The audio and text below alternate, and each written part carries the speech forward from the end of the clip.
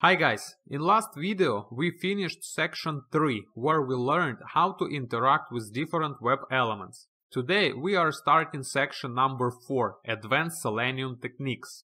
In this section we will learn how to use explicit wait, how to work with alerts, frames, new windows and pop-ups, how and where to use JavaScript executor and how to capture screenshots with WebDriver.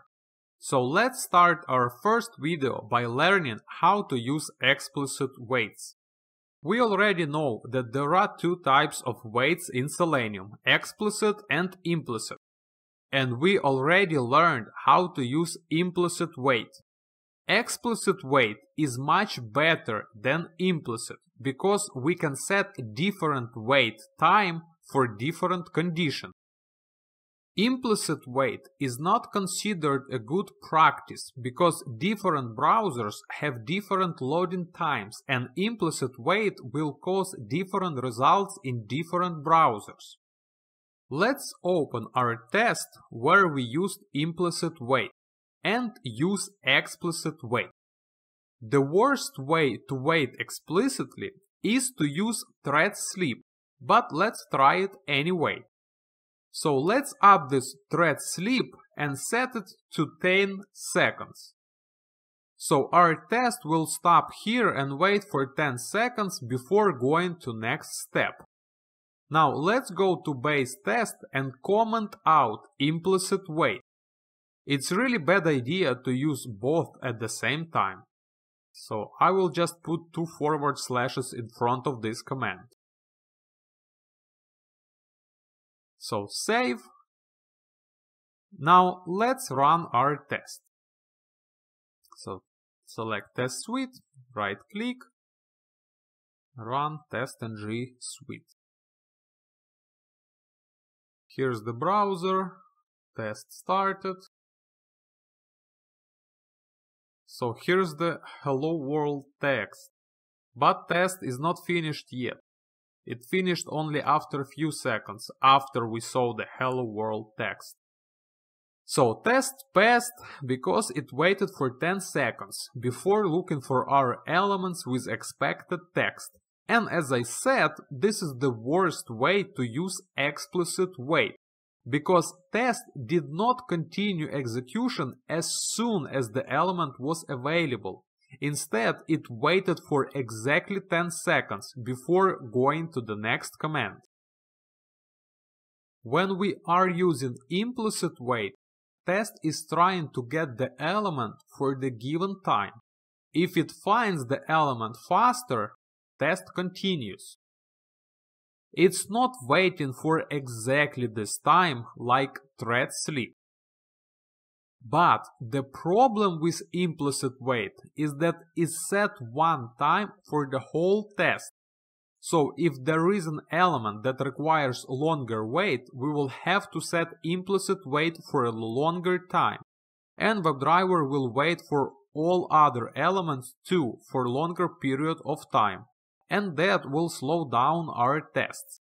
But there is much better way to use explicit wait other than static thread sleep. We can use WebDriver wait in combination with expected condition. Let's try it in our test. In our test, I replaced thread sleep with next code. So I am creating WebDriver wait variable wait equals new WebDriver wait and I give it 10 seconds. And then I use this wait to wait until expected condition to occur and our expected condition is presence of element located by ID finish. So basically we will wait for this element with ID finish to be present on the page for 10 seconds before going to next command.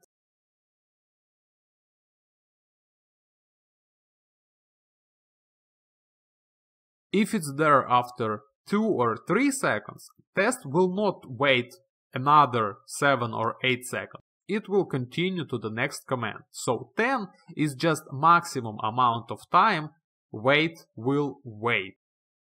So let's import WebDriver wait from Selenium support And let's import expected condition from Selenium support UI. So save our test and let's run it again. Right click, run as, TestNG Suite. The page should be closed and test passed as soon as we see hello world. Yep, like, like it happened just in front of our eyes.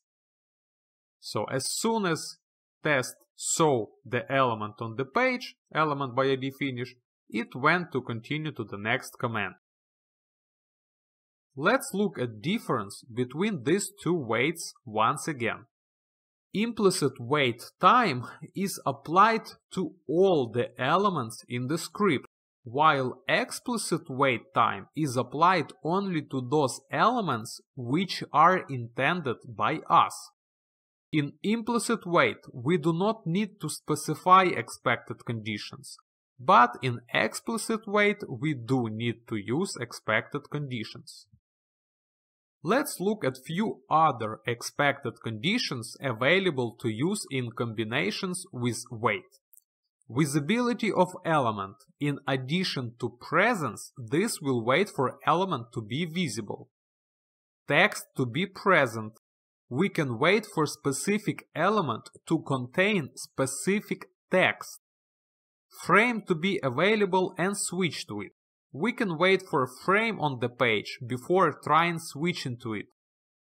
Invisibility of elements. Sometimes we need to wait for elements to disappear from the page.